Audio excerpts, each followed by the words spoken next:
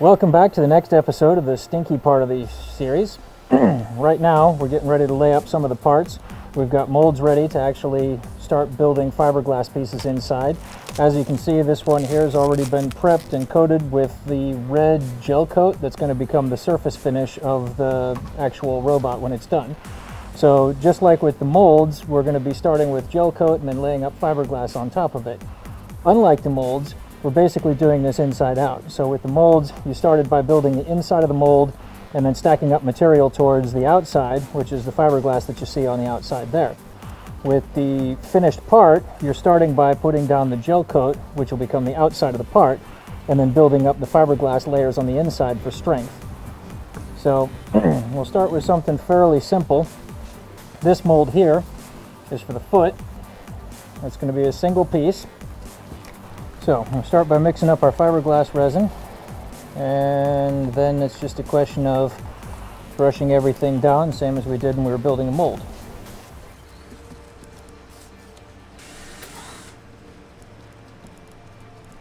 So when we're talking about some of the bigger, more complex parts, where there's no one good direction to be able to pull it in order to get out of the mold without breaking it, you have to make the molds in multiple parts. So when that happens, Sometimes it's a nice big open piece and you can reach inside and you can do all the layup while the mold is completely put together. In this case, because you've got this tiny little uh, mold to work with, it's going to be really difficult to have to reach through this hole to do all of the layup work. So instead, what I'm going to do is I'm going to actually do most of the layup on each of the three parts of the mold while it's still laid open. And then once the layup is done, I'm going to go ahead and bolt the mold closed and actually just go do the layup on the seams.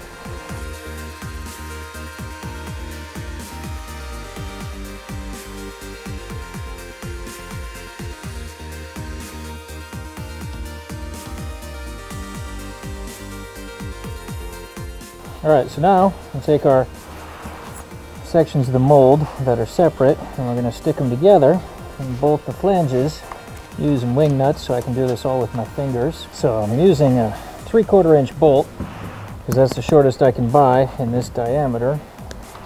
Don't really necessarily need the diameter to be as big as it is, but I want something that's going to be easy to handle with gloved fingers. So I'm using a quarter inch diameter bolt. And for those of you in the metric system, a quarter inch, that's about that much so we've got the mold bolted together. The next thing we're going to do is take a look and see if we've got everything covered on the inside.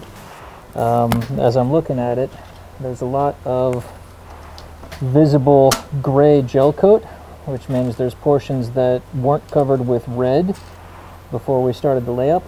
So I'll end up going back through with a batch of gel coat and just brush on over the seams cover up all the gaps, make sure that the finished part that comes out is completely red.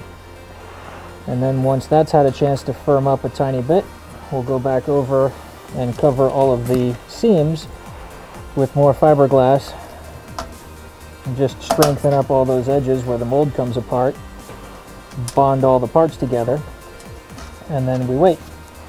In order to do the seams, since I'm kind of working blind, what I'm going to do is I'm going to pre-saturate the fiberglass mat before it goes in. So I've laid down some wax paper. I'm going to cut myself a handy strip of fiberglass. I'm just going to lay it into the resin. Make sure it's all soaked all the way through. Now we know at least this part's saturated. It just becomes a question of laying it into the seam.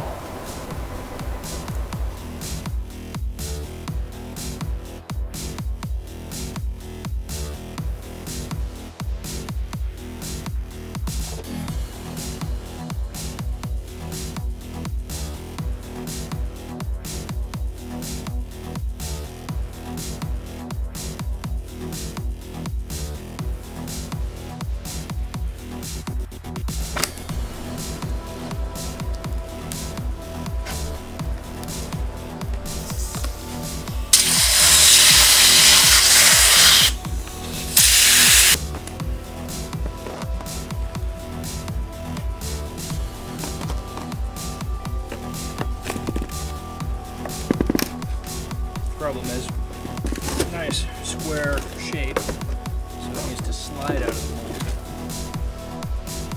This a little bit of a challenge for it. There we have a foot. Okay.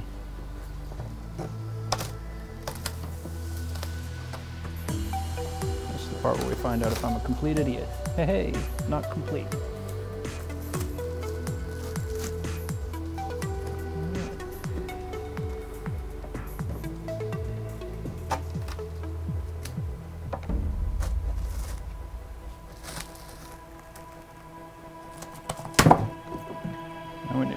Time lapse for that whole thing.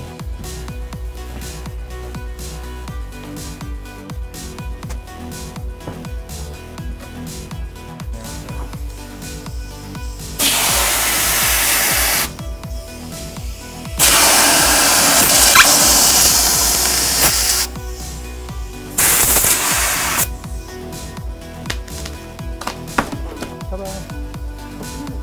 Arm. I get you? All right. Arm part. So uh, at this point, we've got the first handful of parts out of the mold. We've just about got all the molds made. Now we've got a lot more fiberglass layup to do in the next couple of days, and then we're going to get the person that's going to wear this thing to come up here and strap some parts onto them. So we'll see you next time.